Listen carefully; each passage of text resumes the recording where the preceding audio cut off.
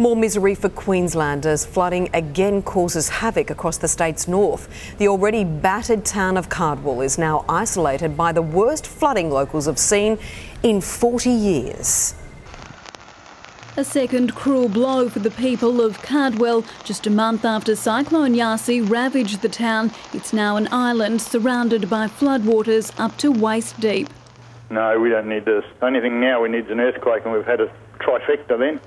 More than 212 millimetres of non-stop torrential rain has fallen in the area in just 24 hours, but there's nowhere for it to go. Drains are still clogged with debris from Yasi.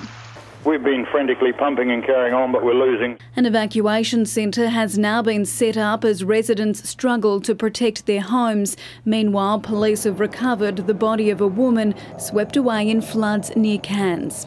We are concerned about cars being washed off, uh, off causeways and we do caution people to stay out of this water. It is rapidly moving water. But even before the flooding, residents were frustrated. There's a limited number of uh, insurance assessors. Many towns are still in desperate need of repair.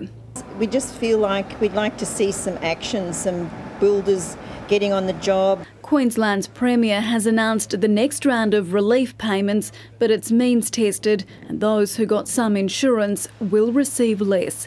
Tegan George, 10 News.